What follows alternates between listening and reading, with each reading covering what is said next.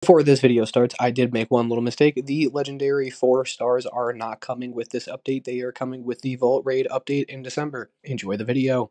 Hello, all you beautiful vault dwellers out there. Big changes are coming to Fallout 76 with one of the most transformative updates in the game's history. Yes, that's right, another legendary crafting system overhaul, a complete overhaul.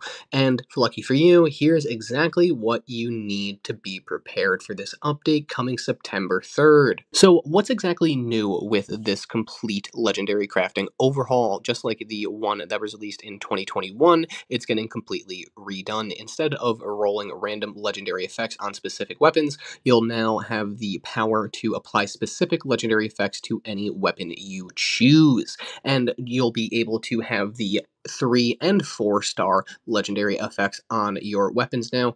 Each star that you add to a weapon will increase in price. So the first star will be cheaper, the second star effect will be more expensive, and the third star effect will be even more expensive. So just keep that in mind. And we don't know what it costs yet to have a four star legendary. So, in order to apply these specific legendary effects, you'll need to learn the legendary uh, crafting boxes. To get these, it's really easy. Simply just scrap a large number of legendaries with the desired effect. We don't know the exact percent chance, and you'll have a chance to unlock plans for that legendary mod box. You'll also get one legendary mod box when you do scrap the weapon for the first time and you actually learn the plan. So you'll have one in your inventory and then you'll have the actual plan itself. That's how it works on the PTS. That may get updated. Now, um, the Scrapper perk card, uh, we don't know if it incre increases the uh, the chances just yet, but it looks like it does. So go ahead and throw that on for a slightly increased chance. I mean, it'll it can't hurt, you know what I mean? So Scrapper perk card probably increases your chances as as far as we know so far.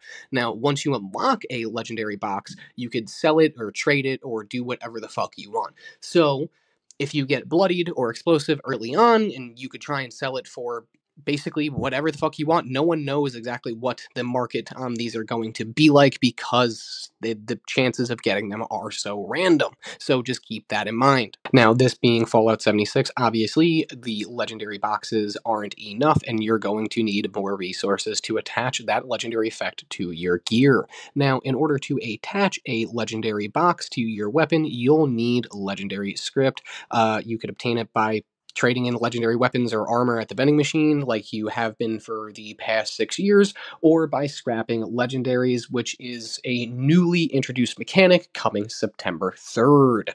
Uh, this, although you can do it at your camp and it is super super easy to do scrapping the legendaries it's not really worth it in terms of legendary script uh, you're going to be scrapping those legendaries for those legendary boxes.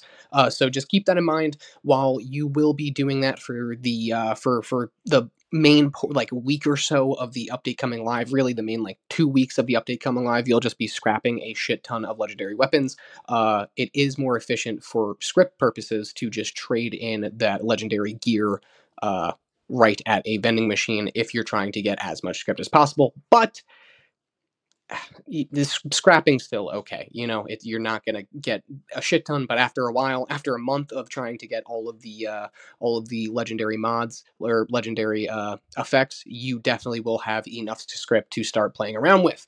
Uh, and now you could also, once the update goes live, the legendary cores that you have will be a one to one uh, trade for the script, like I said. Uh, so coming September 3rd, any legendary cores that you have will be automatically turned into script on a one-to-one conversion. So now that you have the plans for the new legendary effect box mods, you'll need some unusual materials to craft these boxes, and of course, legendary modules. On the screen now, you'll see all the different crafting materials required for each legendary effect.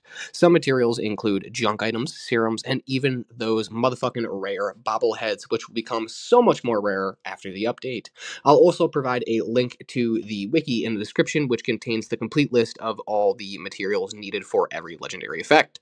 Be sure to check it out and start gathering a surplus of crafting materials for the effects you want most so you're ready to craft as soon as you unlock the plans for the legendary effects, which again may not be right away because it is a very small chance. So just scrap as many legendary guns as you can. But check out the link in the description. Uh, it's going to have the wiki link, obviously, and it's just going to have the uh, the complete list of all the materials that you need for every legendary effect, which it may change, but the wiki will be updated, so just keep an eye out there. Just a quick little note also with this update. If you have a one star legendary weapon or piece of gear, you can now add a two star effect and a three star effect to it. Uh, so if you just want a two star for some odd reason, you could do that, and then you could throw the third effect on there also. Uh, the effects will be random when you first throw them on there, just like it is now with the current system that we have, but you can instantly change them to your desired effect as long as you have one of those legendary box uh, mods, I guess you could call them, or just the legendary boxes. So as long as you have one of those, you could throw it on and change those effects as soon as you put them on there. And just another quick little note here, it will cost legendary modules to add a new random legendary effect to your gear, and then it will cost the legendary box mods and then the legendary script in order to put the desired effect on that gear. Uh, and then obviously, like I said earlier, they will be adding a fourth star. We don't know if this is going to be just a random set effect, like the uh, like the the Ultracite one, where it does 50% more damage to scorched targets, uh, or if it's just going to be literally another star that you could just choose any effect that you want. But that is coming in the game also. So we it, it, was hinted at a little bit, but it's coming. So whenever the update goes live, I will make another video on exactly how to get a four star legendary weapon. Now there are a couple of things that you are going to want to do before the update launches on September 3rd. One of those things are to craft as many legendary weapons and armors that you can with your favorite effects, such as bloodied, anti-armor, vampires, and explosive for weapons, and then bolster bolstering and unyielding for those armor pieces. Now, this is so then you could just get as many possible legendary effect boxes as you can right off the bat when the update goes live. Um, as now, I would suggest opting for lightweight items like knives or secret service weapons. So I would try and get, or like a, a 10 millimeter pistol for explosive or something like that. Um, so I would just get as many knives with bloodied or anti armor or vampires as I possibly can, as many switchblades, and then obviously uh, as much Secret Service armor with the bolstering and the unyielding effects uh, for your armors. Uh, so go ahead, do that. You will also be getting rid of those legendary cores. Um, so this is just like I said earlier, the legendary cores will be going away uh, for the new legendary crafting system. Uh, so if you have legendary cores that you do not spend before September 3rd, they will turn into script. It will be a one for one return. Uh, so obviously, if you're maxed out on script, you'll just waste all your fucking cores. So spend your script before the update goes live, and obviously spend those cores before the update goes live, unless you just want to stock up on script, but it's not that hard to get.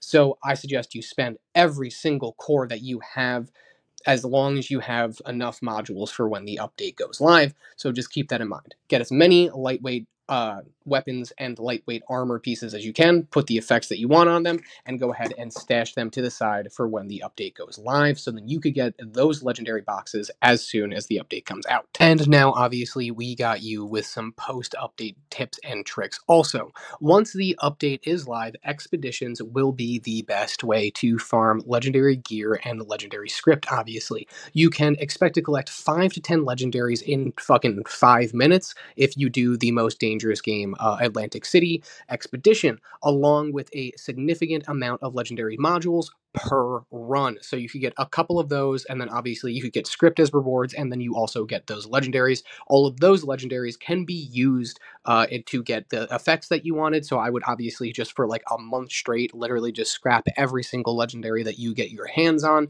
in order to get those effects. And I'll just worry about the script later since it is so easy to fucking get. So expeditions by far are the way to go once this update goes live. Everyone will be running them for at least a month, I guarantee it. Everyone will be running the new Atlantic City expeditions. Like I said, best way to get legendaries for those legendary boxes. Don't don't mess around. Do expeditions once you finish the expedition hop into a public event. Once you finish that public event, go back and do more expeditions, rinse and repeat until you get all of those legendary boxes.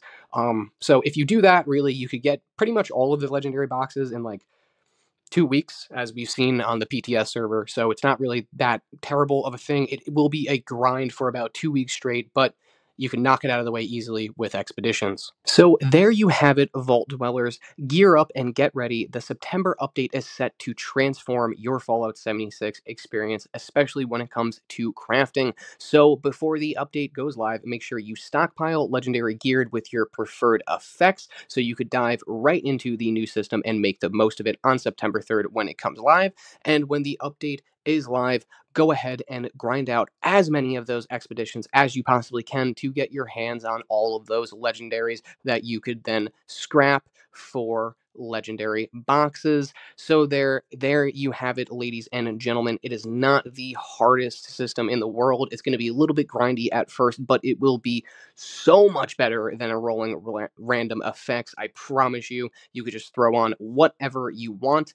Uh, also just a if you made it this far, a little quick tidbit uh, explosive plasmas are coming to the game, so you could throw a explosive uh, legendary effect on a plasma flamer. Uh, at least you could on the PTS. They may patch that, but as of right now, you can do that in Fallout 76. You could have a explosive plasma weapon. Once again, legacies are back. So if you made it that far, there's a nice little piece of news for you. Uh, yeah, guys, let me know what combination of uh, effects you're most excited for, and let me know if you guys are excited for this uh, new update in the comments below. As always, I appreciate you motherfuckers for stopping by and checking out this motherfucking video. Thank you guys so much. Happy hunting in the wasteland, and I will see you motherfuckers out there. Good luck, everyone, and as always, I appreciate you.